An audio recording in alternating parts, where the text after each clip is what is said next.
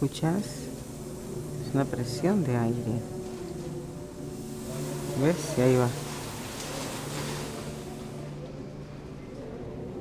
Ahora, a mí me cuentan que el señor Jansen hizo un concurso. Imagínate, él ya se fue a Holanda.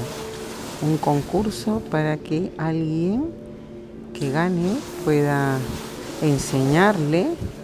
Y este chico que habla inglés recibió charlas de él para que pueda hacer su trabajo. Yo te he contado que cada monstruo le llaman es un año de trabajo. Y este chico lo ha admirado desde el año 93 que empezó. Entonces, él ha tenido siempre contacto con este señor. Jamás pensó que iba a venir a Perú, que iba a hacer un concurso y que lo iba a ganar. Imagínate cómo es el destino, ¿no? Y lo logró. Mira.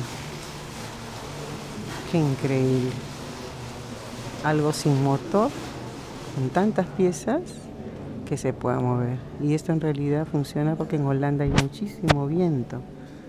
Pero le ha puesto las botellas con aire y ves como una compresora. Y bueno, espero que te haya gustado. Como te digo, poca gente viene a ver algo de cultura, pero así es. Prefieren ver otros temas que no lo culturicen, pero si tú lo has visto hasta el final, te agradezco y te felicito. Oh, fíjense.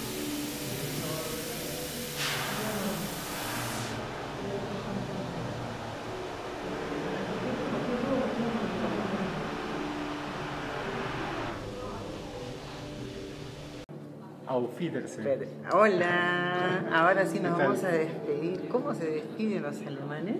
Auf Wiedersehen. Auf Wiedersehen. Tschüss.